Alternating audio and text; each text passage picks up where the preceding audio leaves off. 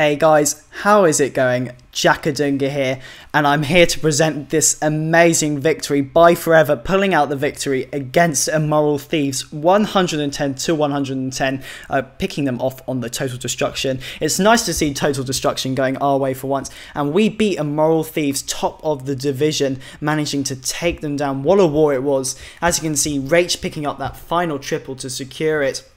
But look how many attacks coming in in the last minute. Six or seven coming in. It was a real nail biter. What a performance, though, from the ByeForever guys. As usual, dips were superb. They were also as equal to that. It was really the 10v10s, which is quite unusual we usually get about four or five, maybe three sometimes, uh, but only two each. And Immoral Thieves, especially, are very good at the 10v10 game. So it was really that which made it uh, a low scoreline. But ByeForever going to make sure that they do qualify for the playoffs. Six wins, five losses. What a performance by the team.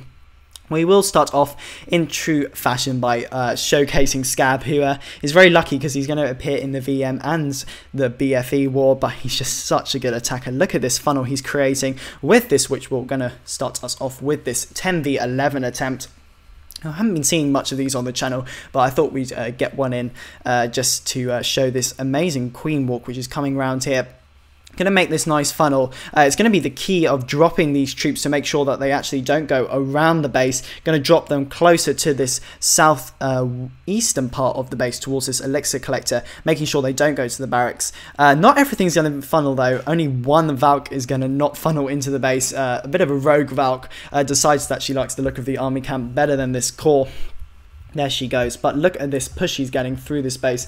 It's quite a weird entry to think that the town hall is actually closer to this northwestern part of the base, but still going to get the job done. Going to be a little bit clutch though. We're going to see here as uh, some of the bowlers decide to walk towards enemy queen. But the bowlers are going to take off this Inferno Tower, going to uh, make sure the Town Hall does uh, reduce its hit points just that little bit. Uh, bowler's going to take out a few more troops, but look at the Queen. Queen going to pick off the Lava Hounds. It's only going to be her left up already at 60% and she's just going to clutch the town hall. Look at this the eagle artillery firing down on her but uses that ability just in time making sure queen doesn't go down and with a slither of health she's going to take out that town hall just in time. And it's going to be a 62% two star very nicely done to scab. Clutch effort picking off this first two star now we're going to make our way on to the 10v10s. We're going to start off with Matt uh, picking up another one of his 10v10s here. Didn't have one last week, but luckily he's going to come in here on Joe Mama here with the uh, triple. Going to be a similar attack to the one shown in VM here. Uh, going to uh, start off here, going to uh, start with a Bowitch attack. I'm going to attach those two healers to this left hand side of the base due to these air defenses being on the right hand side. Nice funnel being created and a nice jump spell. Going to funnel his troops directly into this core compartment towards that Inferno Tower, making sure it goes down. Nice standard funnel here. Matt's going in very nicely indeed.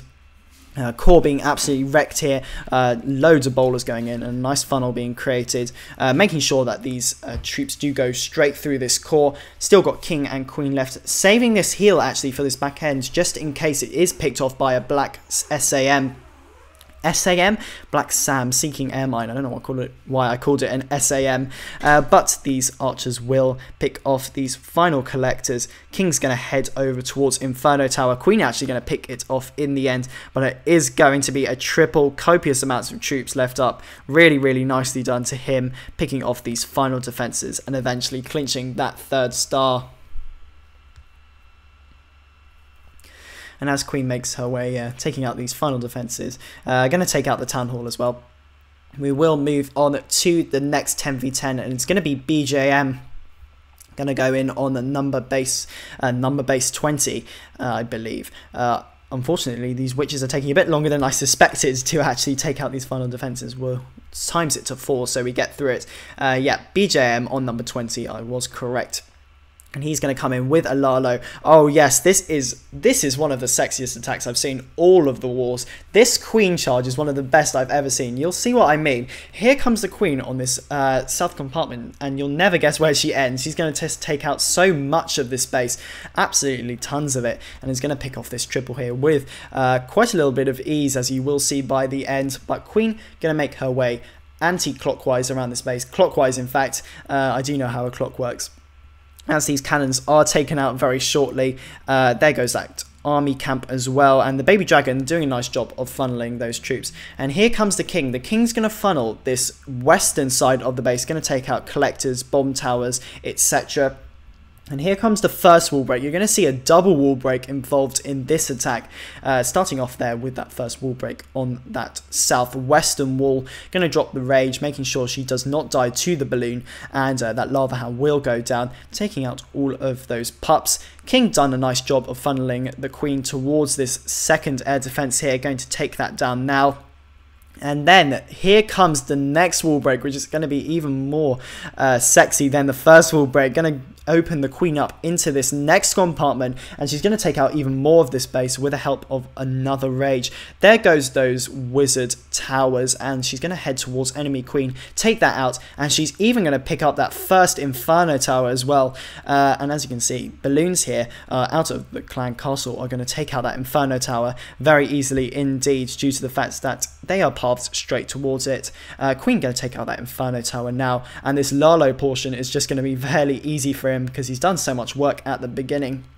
I'm going to drop that rage down uh, to tear through these wizard towers and Teslas, and eventually that last air defense will go down, and eventually the base will fall. Uh, only got that arch tower left in the north and has got plenty of cleanup. But look at this, a swagged Town Hall 10 spell. Like to see that, a swagged Town Hall 10 spell. Very, very nice attack here. One of the best attacks I've seen all of the wars. Really nicely done to BJM here, picking up the second and final 10v10. And as he swags the rage over the Immoral Thieves clan castle, we will go on to the 9v9s. I've got two for you today. I'm going to start off with, I've forgotten who it is, I need to check my notes. It is going to be number 26, it's going to be Hotard, of course. Hotard going to come in with his famous hog attacks. Uh, really, really nice Queen War. Going to be a bit unorthodox, actually, uh, with the start of this raid. Going to funnel the north side with a few wizards, and Queen is going to come in here. But King and Bowlers are actually going to uh, come in from this top end, and the Queen will join in with the kill squad after she takes out these gold storages and a nice jump spell is going to make sure these king and bowlers take out these three wizard towers, getting a nice bit of value. The jump spell actually going over the expo compartment as well, making sure those expos go down because uh, expos are generally a pain in every raid. Queen is still alive, just about. Healers helping her out here. And the bowlers have taken out enemy Queen and the Clan Castle troops as well with the help of a little poison spell. And look how much of this base is already down. Hotard will stick, uh, trickle in his first pack of Hogstow uh, towards this Tesla farm, which seems to be emerging here on this south part of the base, southwest in fact. Nice heal spell taking out all of those defenses heading towards the cannon and archer tower compartments. Still got a heal left in the bag, which he will need actually due to the fact that these giant bombs will pop up between the mortar and the cannon here. Nice heal spell going to make sure these final hogs do uh, crash through these final defenses, and in fact, King is not going to be a problem. King and Queen still left at full health as well, so a very nice hog attack showing us how it's done. Very nicely done to Hotard here, picking it up in this first Town Hall 9 triple. And with cleanup just finishing, we're going to go on to the final attack and the final 9v9. And of course, who are we going to end it on? We're going to end it on Stormborn. And unfortunately, he's just come up with another amazing attack where he doesn't use anything uh, you will see what I mean here. He's going to come in with his famous Lalo and going to absolutely melt this base.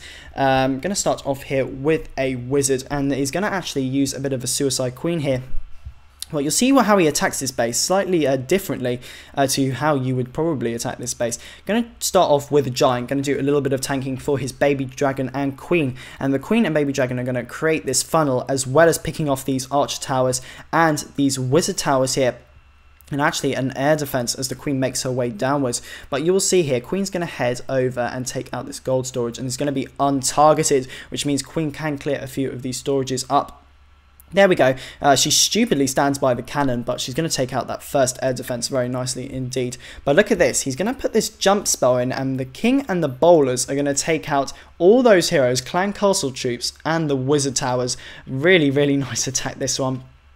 Despite the double wall, not going to risk the double wall break, he's going to go in and smash this base to bits. Uh, looks like the king and the bowlers doing a nice job of going uh, taking out these wizard towers and eventually that um, uh, what is it called? A queen. Of course, it's called a queen. I mean, talking about queens all day. And then there goes down that king, and the lava hound's going to stay alive. But lava hounds can't do much against a Lalo, and you'll see he's not going to need to use any of his spells, as maybe some of you predicted. He's going to come in and take out these two air defenses, and eventually that last air defense in the west Got a few Teslas up as well. Uh, but look at that. The balloons just melting through these defenses. I'm going to take out these Teslas, air defenses, and that final Expo, and then is going to create a little bit of a pretty pattern with his five spell slots, uh, which he has left, which he doesn't need. So, uh, Stormborn in Stormborn fashion, going to pick up the last Town Hall 9 triple, really nicely done to him, and of course, this will pick up the Town Hall 9 triple of the week.